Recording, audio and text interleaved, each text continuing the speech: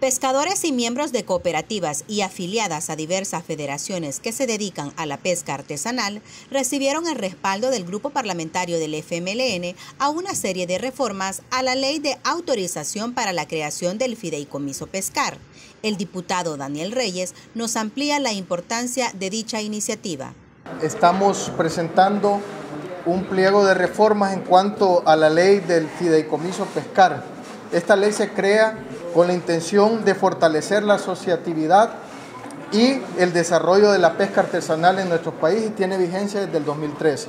Pero las organizaciones de cooperativistas y federaciones de pescadores nos han hecho una serie de observaciones que se encuentran con ciertas limitantes para poder desarrollar y para poder también tener el acceso más eficiente a este fideicomiso pescar. Una de ellas y de las más principales es poder integrar a todas las federaciones que existen en nuestro país de pescadores y pescadoras. En la actualidad, la misma ley de la creación del fideicomiso solamente eh, le otorga la potestad de participar en el comité de dirección a una sola federación.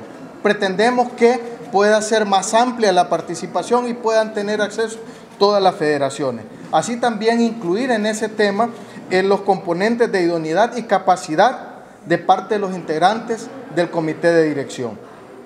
Aparte de eso, se le, se le pretende dar atribuciones para que sea más eficiente y darle más celeridad al proceso del fideicomiso pescar, así como también establecer un comité evaluador de proyectos en los cuales se van a ejecutar todo eh, el, el dinero que proviene de este fideicomiso. Y, por supuesto, también eh, eh, importante establecer infracciones, tanto leves como graves, ante el retraso o el mal uso de los fondos del fideicomiso, de este fideicomiso, que pretendemos que sea más eficiente y que pueda llegar a fortalecer aún más el desarrollo de la pesca artesanal de nuestro país. Nosotros como grupo parlamentario estamos en la disposición de apoyar el desarrollo de la pesca en nuestro país. Sabemos que una de las áreas productivas en algunos departamentos, especialmente los que tienen eh, zona costero marina, es, es el, el tema de la pesca tiene un papel fundamental. Y en ese sentido, eh, bajo ese compromiso y bajo esta línea de desarrollo nosotros queremos apostar para que estos fondos que eh, eh, inicialmente fueron establecidos con 800 mil al año, pero que debido a ciertas situaciones en tema de su ejecución eh, al año únicamente se están ejecutando un promedio 400 mil dólares. Pretendemos que se logren ejecutar año con año los 800 mil y que se, una apuesta para ir fortaleciendo aún más este fideicomiso que venga a fortalecer las cooperativas, la asociatividad entre los pescadores y pescadoras para darle desarrollo a esta línea productiva de nuestro país.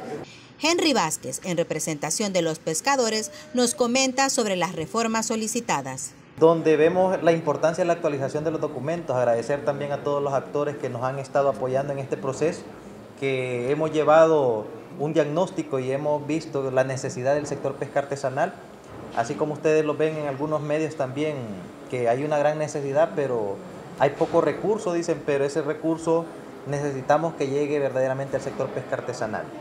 Es por eso que esta mañana pues agradecemos, Daniel, y al más compañeros que han hecho posible este evento. Eh, venimos desde la madrugada, ¿verdad? Pero vale la pena este esfuerzo y esperamos que también los demás compañeros diputados de la Asamblea Legislativa vean con buenos ojos esta reforma que es para este sector. Solo en la Unión, en el departamento, estamos hablando de 11 mil familias que dependen de la pesca artesanal, sin contar ya la libertad y, y Usulután y la reforma va encaminada a todas las organizaciones, ¿verdad? A nivel nacional. Estamos hablando de alrededor casi de 180 cooperativas que se, verían beneficiadas con esta reforma a la ley del fideicomiso pescar.